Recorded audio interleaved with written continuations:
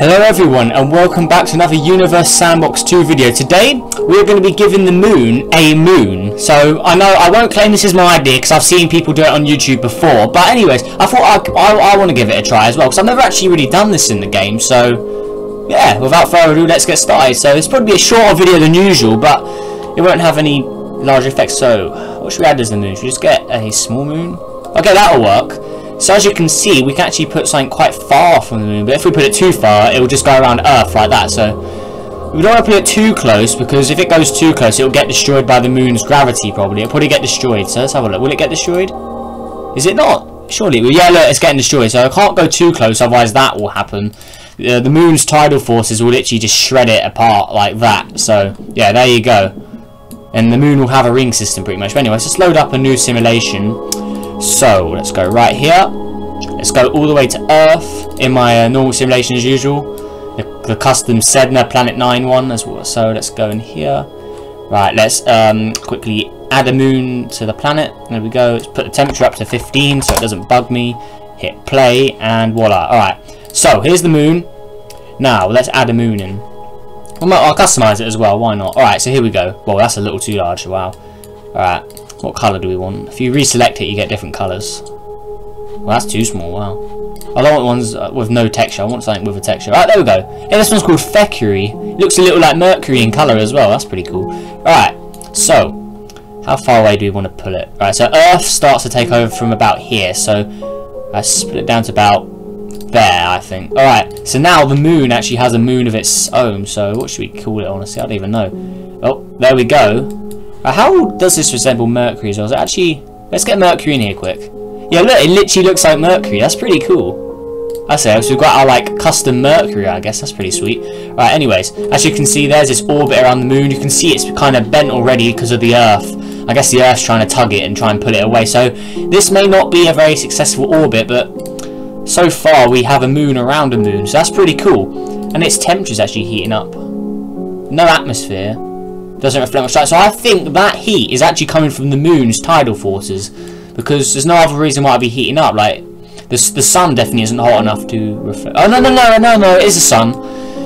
As you can see there, it only reflects 13% of the light it receives. So that means it absorbs 87%. I think. Yeah, I'm doing my math right. Yeah, 87% of the light it receives it absorbs, so it heats up. So that's why this thing's getting quite hot.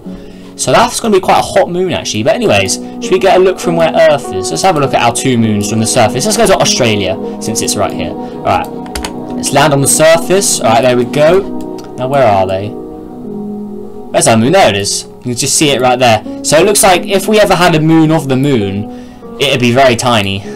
Because the moon's quite far away, remember? Look, if we get a um, quick um, thing out here. Look, from the Earth... Wait, damn it. Alright, from Earth, it's about can I look, please? This is about 400 and... I'll say about 420,000-ish kilometers from the Earth. So that's pretty far away. As you can see from the moon, the Earth looks... doesn't look that large either. But anyways, let's see what um, will eventually happen if this moon orbits around the moon too long. I, I'm still sure Earth will eventually pull it away. I have no idea. So I've never tried this. I know loads of people have done it, but I've never actually watched anyone else's videos of this. I've just seen like thumbnails on like the um, recommended list. But anyways, so as you can see, we've got a crazy, crazy like binary thing going on here almost. Wow. So the Earth isn't really getting affected by this. Obviously, none of the other solar systems getting affected either. So it's literally just to the Earth system, but more about the Moon system. Now, now the Earth's the parent body, and then the Moon would pretty much be the planet, and then this would be the Moon of the planet. I don't think we've ever discovered any planet with, like, including exoplanets, with a moon um, as a moon. So, I don't know what you... I don't know, I didn't, that didn't make sense. So, a moon that's orbiting a moon. There we go. Get my English right. Alright. So, it looks like Fecuri here isn't really... I guess that's it. I don't know. Yeah, look, you can see it's... No, it's not it, actually. Its orbit's changed again. Because it wasn't, like, a complete circle earlier. Let's actually keep an eye on the orbit, actually. Is it going to bend again? Because there's no way it's going to stay the same. That orbit will continually change. To speed up a little more. Oh, God, this is crazy. Let's actually speed up a few years. Anything to happen? It could just get thrown out any second now. Like, I have no idea.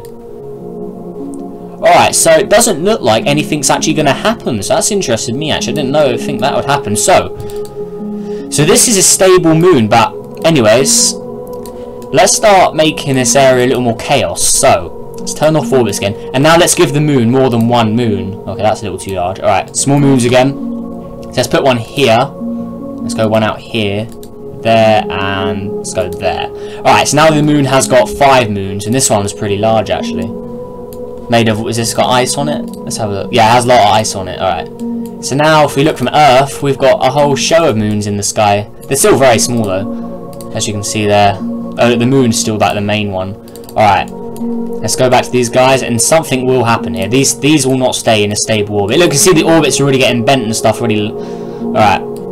So, oh, this one, this one's getting destroyed by the sun here. Let's stop that. Let's make it reflect a little more light. Will that, is it, or is it gonna get? Oh, whoa, whoa, whoa! What am I doing? Doesn't look like it's gonna actually stop um, getting destroyed. So I don't know why it's doing that. You'd think the ones closer to the moon would get destroyed first, but I won't question the game's logic. Alright. So. There's no way this is going to stay. Surely one of the moons will get ejected eventually. You see all the orbits are going crazy right now. Like the moon. Yeah, the moon itself. Even the moon itself is getting altered. That's pretty interesting. Oh, something hit the moon. As you can see, the moon looks a little more white right now, so I'm guessing some of the water evaporated or some of the water was torn off by tidal force and it landed on the moon. That's why I can see it's got 1.01 moons and it looks more, more white because you can see water land on it. It usually looks like this, but now we've got a bit of water on it. So, could we colonize the moon now? Maybe. Alright, yeah, and tell me, if I should colonize any planet in the system, tell me as well. Yeah, anything on this list, tell me, what should I colonize? Alright. Including gas giants, I can colonize those. Alright, anyways. Let's see. Oh wow, that's pretty crazy. Yeah, and also, um, don't worry, the next video um, of turning the planet into the star will be soon. And so far, it looks like Saturn is going to win. So, next um, video, I'll probably be turning Saturn into a star. But any any object that I haven't done yet, tell me, and it, the vote could change to something else. And I could pick another one. But Saturn seems like the strongest vote right now, from looking at all of the videos comments. So I'm, I'm not just doing the last video's comments. I'm looking at every single video I've ever made, like comments for what I should turn into a star next whenever I've asked that in a video. But anyways, yeah, you can see like this this moon here is getting shredded apart. See, it's all the bits are hitting the moon there. So now the moon's getting a bunch of new craters. Wait, did we lose one? Oh, whoa. Uh, it looks like Earth has stolen this one here. Yeah, so obviously it got ejected from the moon's little system. Now it's just in orbit of good old Earth. So, yeah, I knew this wouldn't last long. Alright. Maybe if something gets ejected the wrong way, it could just go in orbit of the sun. No idea. Right. Oh, why does it keep on doing that? That's so weird. Look at all of the evaporation going on now. I don't know if that's the sun or just tidal forces, honestly. Alright. Wait, is Thackeray still here? Oh yeah, it is. Look, check it out. It's still there. Alright. Actually, I might keep this object for future uses. It literally looks like Mercury. Alright. Save that. Right. Let's see.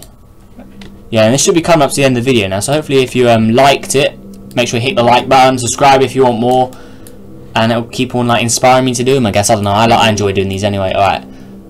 So, hey, this one's got blue on it. That's kind of weird. I don't think that'd be a natural color. All right. So, are we in a stable system again, eh? So it looks like only when you add a moon to the moon, it doesn't really do anything. Like nothing really changes, but and it was stable. Like you saw, I run, I've ran the system for 30 years now. Like nothing really happened. I could do it for thousands of years, but honestly, I don't, I don't particularly want to do that because it'll just take forever. Especially when you speed up too much, the game will slow down eventually.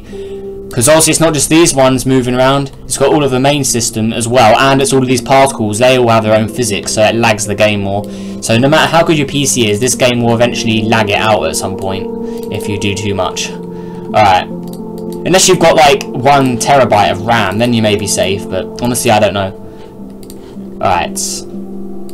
So I think that will end off the video because like nothing's really changed on that. I'll speed it up. I will speed it up. So going about 13 years a second now, even though it's not really doing that, even though it says it is. So nothing's really happening here. Sedna Planet 9 are barely moving. And the moon's even evaporating because of all of the um why is it even doing that? The moon even the moon's evaporating because of all the um water it landed on its surface when it tore apart that other moon. Alright, let's slow down again.